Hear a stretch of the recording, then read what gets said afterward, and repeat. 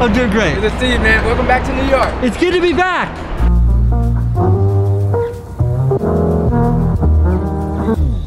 It's like just before six in the morning. I'm out running. I still run every day. It's the greatest. It's the greatest running in the city.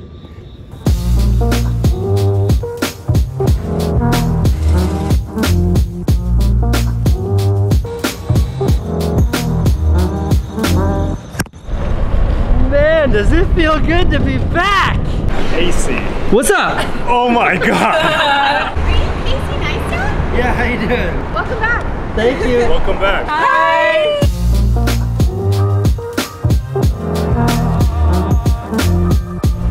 All right, let me share with you like just some of the details about the how and the why of us returning to New York City.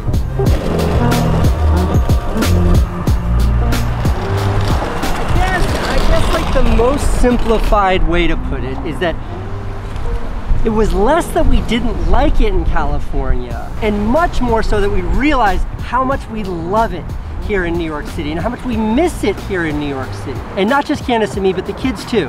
For sure the kids too.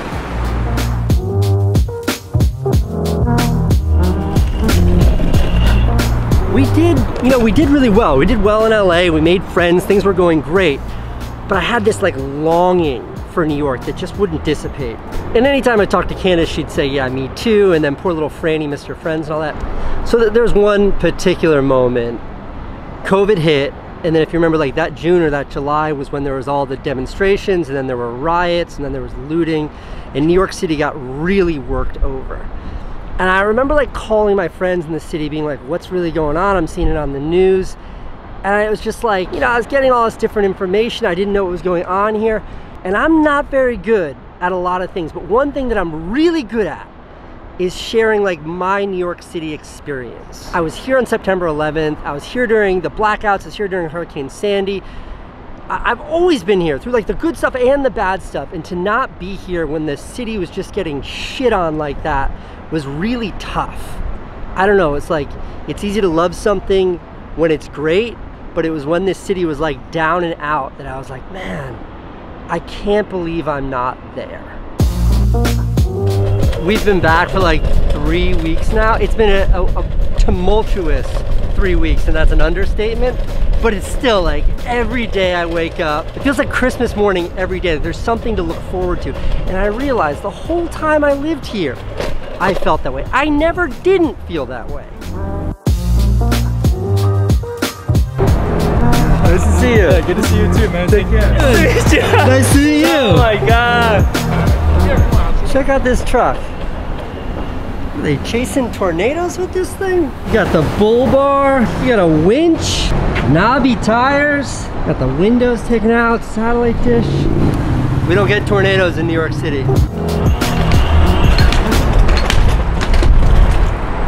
Yo, what are you guys doing? Trying to hit this rail. On a pogo stick. Logo. Wait, Casey Nice? Yeah. Yeah, what's up guys? Oh shit. So this is extreme pogo sticking? So this he's a rail specialist. Obviously so he, he's a or rail grind specialist. So yeah. Oh. Yeah, what's up? Hi, I'm Casey. I'm Emily. Thanks so much. Yeah, hi, nice to see you.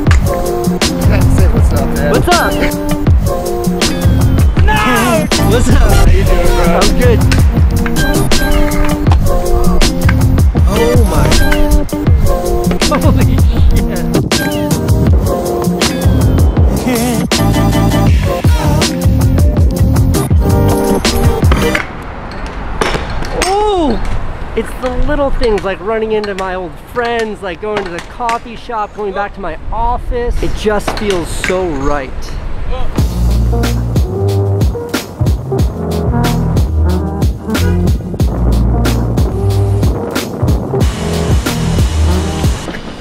How are you? Good. How are you? I'm great.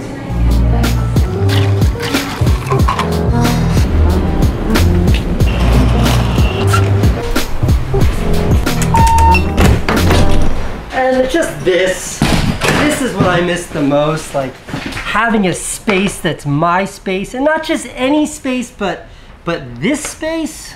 Check these guys out. Check these guys out.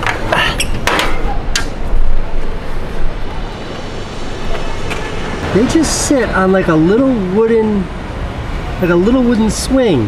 Just like a little wooden plank. Maybe my um, my favorite part of being back in my office is that I have a new neighbor, one flight up.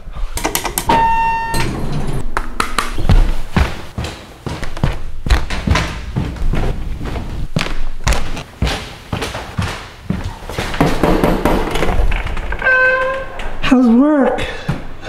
I'm locked out of Instagram. You're locked out of Instagram? Yeah, You want me to make a call? yeah. Everything's a mess. I have nothing. Candace, today's day one. You just kind of hang in there. It's like I'm learning to walk again. Is there anything I can do to help? Bye. Bye. My little ray of sunshine. I've been in this office, I've been in this this studio for 20 years. What have you done for 20 years that's been the same? What's a constant in your life that's 20 years? I looked up the word muse, the noun muse in the dictionary. Like, I I know what a muse is, I just didn't know that the dictionary definition. A personified force that is the source of inspiration for a creative artist. I have never been so sure of anything as I am that this city is my muse. New York City is my muse, my source of inspiration. Look at that rainbow. Look at that New York City rainbow.